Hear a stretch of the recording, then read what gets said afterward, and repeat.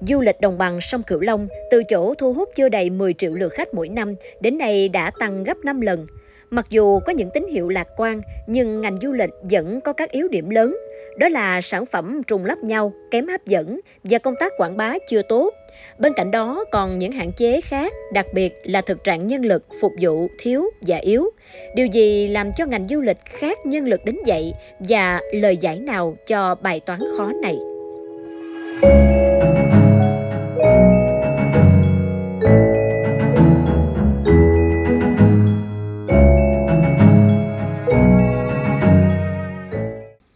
Cồn Sơn là một cù lao trên sông Hậu, có diện tích khoảng 70 hecta, thuộc địa phận phường Bùi Hữu Nghĩa, quận Bình Thủy, thành phố Cần Thơ.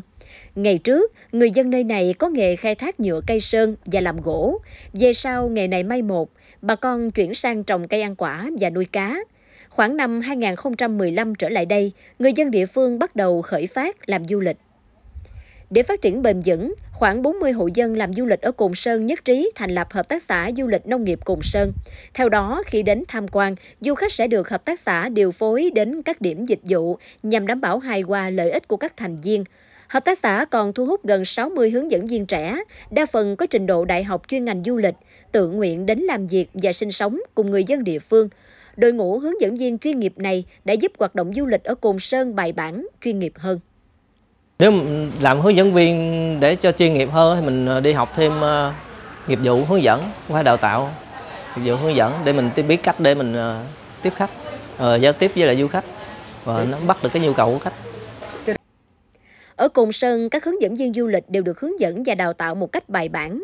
Việc học tập và trao đổi giúp cho các bạn trẻ có những gia chạm thực tế, từ đó có nhiều kỹ năng hơn. Ví dụ như quản lý thời gian, quản lý đám đông hay kiến thức về các mô hình xu hướng du lịch mới. Đây là những nền tảng khơi dậy sự sáng tạo, niềm đam mê với nghề.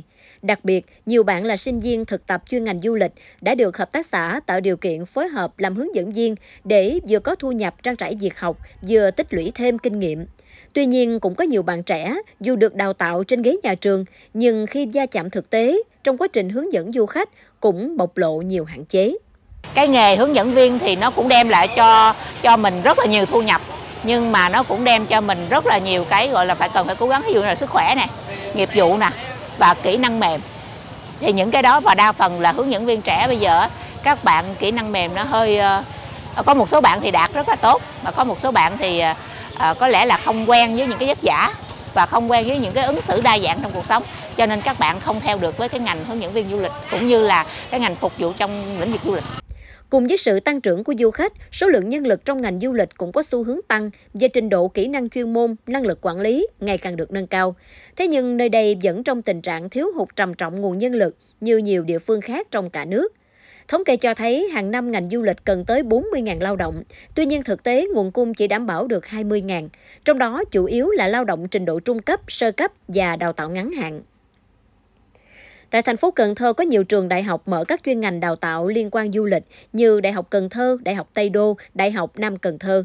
Ngoài được đào tạo khá toàn diện về kiến thức chuyên môn, chương trình học thực hành tại doanh nghiệp cũng được tăng cường. Thế nhưng số lượng lao động được đào tạo vẫn chưa đáp ứng nhu cầu phát triển của ngành tại địa phương. Một phần trong số học sinh tốt nghiệp tại trường này di chuyển đến thành phố Hồ Chí Minh, Phú Quốc hay các địa phương khác để làm việc, còn một số chuyển làm nghề khác. Do đó, nhân lực du lịch tại Cần Thơ không ổn định về số lượng.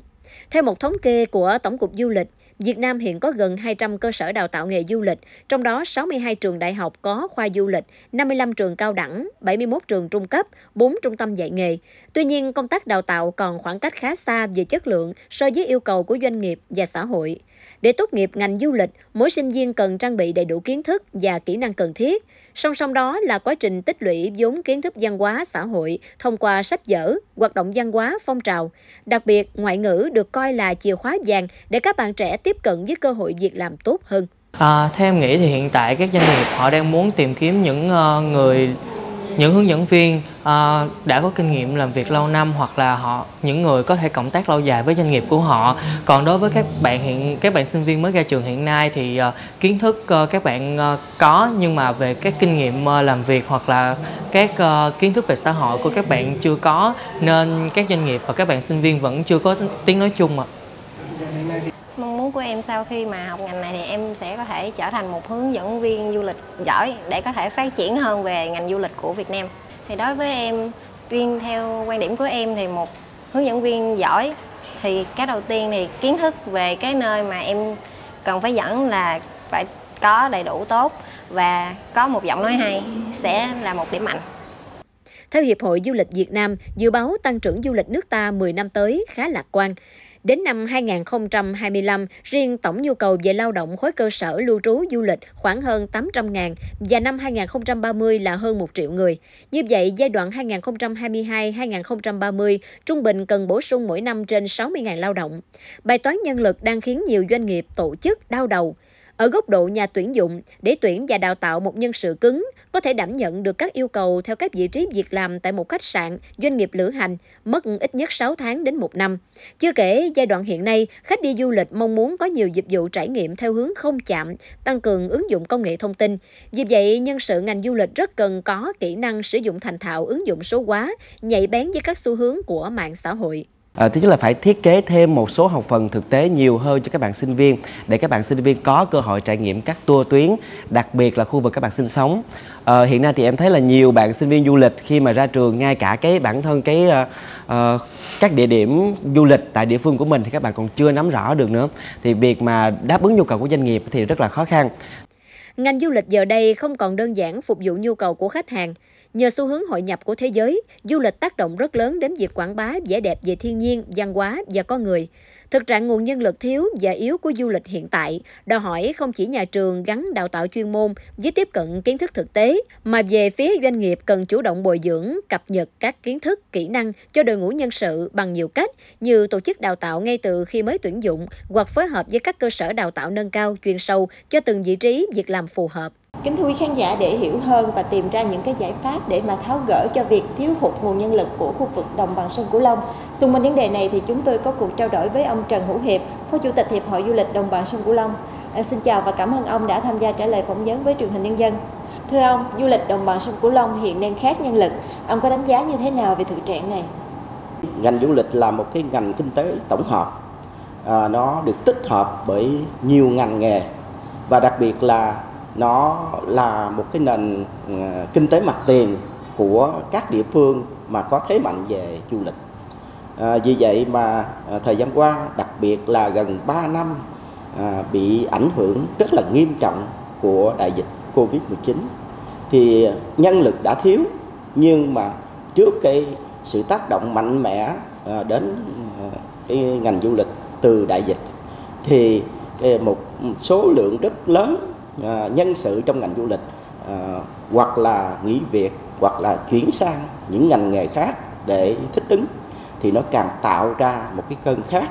À, hiện nay thì à, các doanh nghiệp nó không chỉ là những cái doanh nghiệp mà chuyên trong ngành du lịch tập trung ở những cái trung tâm du lịch lớn của vùng như là Phú Quốc, như là Cần Thơ đang rất là khó tìm cái nhân sự đáp ứng nhu cầu từ là à, cán bộ quản lý cấp cao à, trung cấp mà kể cả những cái lực lượng mà có chuyên môn nghiệp vụ trong, trong ngành cũng khó. À, điều đó nó càng khó hơn khi mà à, ở những cái địa phương chủ yếu là sử dụng cái tài nguyên du lịch sẵn có và cái nguồn nhân lực tại chỗ chưa qua đào tạo. À, điều đó cho thấy một cái thách thức rất lớn. Nếu như không có những cái giải pháp không có những cơ chế chính sách để tập trung tháo gỡ thì ngày càng thách thức ngày càng lớn và đây là một cái điểm nghẽn nó uh, trì kéo cái sự phát triển uh, du lịch của vùng đồng bằng sông Cửu Long. Theo ông, nguyên nhân do đâu dẫn đến thực trạng trên? Như đã nói, uh, ngành du lịch là một cái ngành kinh tế tổng hợp thì nó chịu tác động ảnh hưởng của nhiều ngành nghề à, vì vậy mà đặc biệt là khi đại dịch xảy ra thì cái tác động nó càng lớn. Cái tác động tích lũy uh, liên hoàn nó từ nhiều năm. À, chúng ta đã thấy trước đó uh, nhân lực trong ngành du lịch của vùng đã yếu kém mà còn bị tác động một cái cú sốc lớn nữa thì nó càng tạo ra cái cái cơn khát à, thiếu hụt à, nhân lực. Cái thứ hai nữa là à, muốn có cái cái à, đáp ứng được cái nguồn nhân lực thì cái à, cơ sở đào tạo à, đặc biệt là thời gian qua thì à, các địa phương trong vùng các trường đại học các trường cao đẳng trường nghề thì cũng phát triển. Nhưng mà cái sự phát triển đó nó chưa tương xứng với cái cái nhu cầu sử dụng. À, và đặc biệt là không chỉ ở các trường cơ sở đào tạo mà cái điều quan trọng là cần phải có chính sách để tạo tạo tại chỗ của các doanh nghiệp tự đào tạo mình thì thời gian qua cũng rất là khó. À, vấn đề thứ ba là cái tính liên kết giữa các địa phương trong vùng. Bởi vì nó cũng à, xuất hiện cái tình trạng là nơi thì thừa nơi thì thiếu. À, thiếu thì thiếu cái mà người ta cần nhưng mà thừa lại à, thừa cái lực lượng lao động nó lại không đáp ứng được cái yêu cầu phát triển. Đó là những cái nguyên nhân mà nó càng căng kéo nó càng gây ra cái tình trạng mà à, ta hay nói là cái cơn khát về nhân lực du lịch của vùng ở góc độ Hiệp hội Du lịch Đồng bằng sông Cửu Long, ông có đề xuất những giải pháp ra sao để tháo gỡ thực trạng này? À, Hiệp hội Du lịch Đồng bằng sông Cửu Long là một tổ chức xã hội nghề nghiệp. À, vì vậy, à, chúng tôi quan tâm và ưu tiên hàng đầu trong cái việc tăng cường liên kết phối hợp phối hợp giữa các địa phương à, ở trong vùng những người quan tâm đến lĩnh vực du lịch trong đó đặt cái trọng tâm là liên kết để phát triển cái không gian và cái sản phẩm du lịch. Chính cái này nó tạo ra cái sức cầu về sử dụng à, lao động và sử dụng hợp lý. Khi mà cái sức cầu tăng thì nó sẽ kích thích cái việc đầu tư phát triển những cái trường nghề những trường đại học à, bởi vì đào tạo ra con người thì phải có nơi sử dụng. À, cho nên chúng tôi cũng quan tâm cái thứ hai là làm sao à, kiến nghị à, các cơ quan trung ương à, chính quyền địa phương để có một cái chiến lược phát triển nhân lực du lịch cho địa phương mình đồng thời kết nối với các địa phương tạo ra à, một cái nguồn nhân lực của cả vùng. Trong đó có quan tâm phối hợp liên kết với thành phố Hồ Chí Minh một cái trung tâm kinh tế dịch vụ lớn nhất của cả nước và cũng là cái nơi có thế mạnh về đào tạo nguồn nhân lực trong lĩnh vực à, du lịch. À, bên cạnh đó thì Hiệp hội Du lịch Đồng bằng sông Cửu Long cũng đang đề xuất với Bộ Văn hóa, Thể thao và Du lịch à, quan tâm có một cái dự án và một cái chương trình để hỗ trợ cho vùng đồng bằng sông Cửu Long. Và cái cuối cùng là đã đào tạo nhân lực rồi thì phải sử dụng hiệu quả. Cho nên cái việc mà phối hợp à, giữa các doanh nghiệp với nhau, giữa các địa phương với, với nhau để tạo ra cái sức cầu và sử dụng hiệu quả nguồn nhân lực du lịch là một trong những yêu cầu uh, cần ưu tiên uh, để uh, cái nguồn nhân lực này phát triển bền vững và nó không bị bốc hơi. Vâng, xin cảm ơn ông đã có những chia sẻ với truyền hình nhân dân. Theo đề xuất từ các doanh nghiệp du lịch, việc đào tạo nhân lực cho ngành cần chú trọng đến kiến thức, kỹ năng chuyên môn, năng lực tự chủ và chịu trách nhiệm thích ứng với bối cảnh thế giới có nhiều biến đổi. Bên cạnh đó, địa phương cũng cần có cơ chế chính sách khuyến khích kêu gọi người lao động du lịch đã có kinh nghiệm quay trở lại làm việc, đồng thời có định hướng đào tạo nguồn nhân lực chất lượng cao hướng đến các thị trường nói tiếng Hoa, Pháp, Nhật, Hàn hay những quốc gia mà đồng bằng sông Cửu Long đang có kế hoạch kết nối, mở đường bay. Nhân lực là yếu tố quan trọng để phát triển bền vững, cũng là điều kiện cần có để tạo sự bứt phá cho du lịch đồng bằng khi mở rộng thị trường quốc tế, góp phần định vị thương hiệu. Do đó, cần có sự đầu tư với những định hướng phù hợp để đáp ứng cả số lượng và chất lượng nguồn nhân lực.